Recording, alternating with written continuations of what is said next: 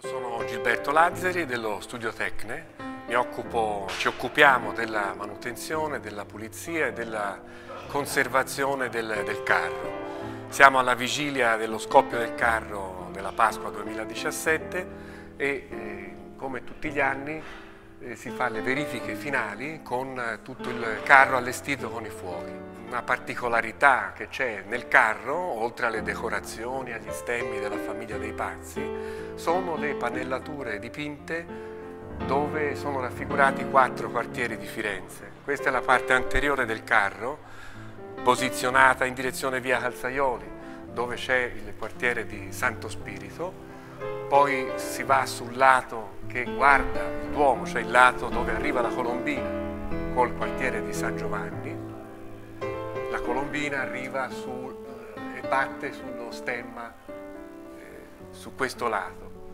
Su questo lato del carro che in piazza da verso via Martelli eh, c'è il pannello in cui è rappresentato il quartiere di Santa Maria Novella. Eh, l'ultimo lato, quello che in piazza guarda il battistero, il pannello con il quartiere di Santa Croce.